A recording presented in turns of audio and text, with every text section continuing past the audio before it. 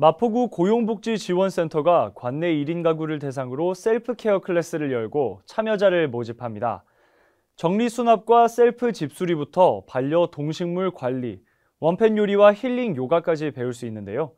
선착순으로 마감되니 관심 있는 구민분들의 많은 참여 바랍니다. 마포구가 마포구에 거주하거나 마포구를 생활권으로 두고 있는 1인 가구를 대상으로 self care class에 참여자를 모집합니다. self home care class에서는 정리 수납과 셀프 집수리 등을 배울 수 있으며 반려 동식물 생활에서는 수제 간식 만들기 및 식물 관리 등의 교육이 이루어집니다. self healthcare 커뮤니티에서는 one pan 요리 및 명상, 요가 등을 체험할 수 있습니다. 마포구 고용복지센터 온라인 및 유선을 통해 신청할 수 있으며 선착순으로 마감됩니다. 자세한 내용은 마포구청 누리집 내 공지사항을 참고하기 바랍니다.